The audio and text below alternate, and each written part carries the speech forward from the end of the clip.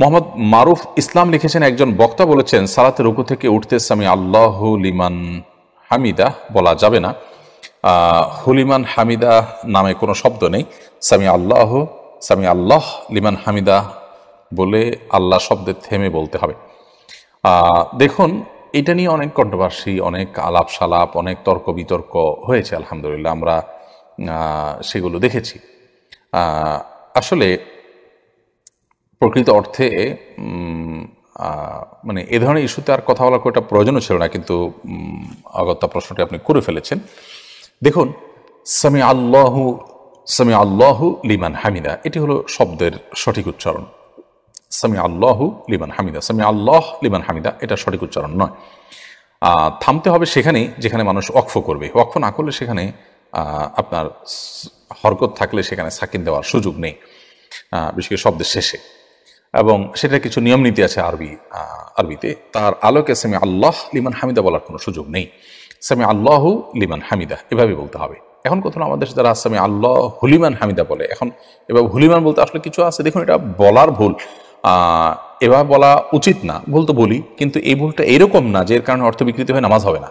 কারণ হলো, এখানে হুলিমানকে আলাদা করে হুলিমান কোনো শব্দ মিন করে মানুষ পড়ে আসলো তা না। এক্ষেত্রে শেখ বিন ইবনু হোসাইন রহমতুল্লাহ একটা দারুণ ফতোয়া আছে। উনি বলেছেন, কেরাতের ক্ষেত্রে নামাজের মধ্যে মানুষ যদি এরকম কোনো কিছু বলে যে ইন্টেনশনটা তার ভুল না, বলার ভুল, তাহলে সেক্ষেত্রে তার নামাজ হবে। অতএব এটাকে যত বড় করে দেখিয়ে আমরা মনে করছি যে মানুষের নামাজ হচ্ছে না ব্যাপারটা সেরকম না, কিন্তু ভুল ভুল। ভুলকে সংশোধন করব, বলব যে হুলিমান না, আমরা সামি আল্লাহু লিমান হামিদা বলব। আর হুলিমান তো কেউ বলে না আসলে। টানের চোটে ওইরকম হয়ে যায়। যেমন আল্লাহ আকবার আমরা বলি, তো আল্লাহু আকবার, দুইটা শব্দ কিন্তু বলতে গেলে অনেক সময় শুনতে গেলে মনে হয় যে হু আকবার বলা হচ্ছে। আসলে হু আকবার বলতে কিছু নেই।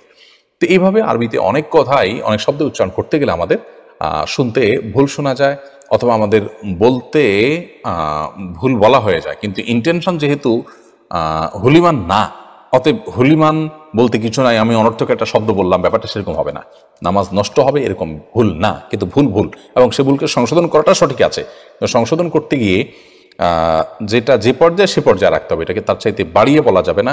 আবার ভুল করতে ধরতে গিয়ে আরেকটা ভুলও করা যাবে না। আবার এরকম কেউ ভুল করলে আবার তার বিরুদ্ধে নেমে তার গোষ্ঠী উদ্ধার করতে গিয়ে, তার চরিত্র হনন করতে গিয়ে ন্যাক্কারজনকভাবে সেটাকে খুব বাজেভাবে উপস্থাপন করে আপনার আরেকটা গুনাহের কাজ যারা করছেন সেটা কোনো সঠিক কাজ না। আসলে আল্লাহ মাফ করুন, আমরা এই জাতীয় বিষয়গুলোতে এত বেশি ইনভলভ হয়ে যাই যে যেন আমাদের আর কোনো কাজ নেই। আল্লাহ তালা আমাদেরকে সংশোধন হওয়ার তফিক দান করুন এবং অপ্রয়োজনীয় কাজ থেকে বেঁচে থাকার তফিক দান করুন এবং দায়িত্বশীল হওয়ার তফিক দান করুন সবাইকে।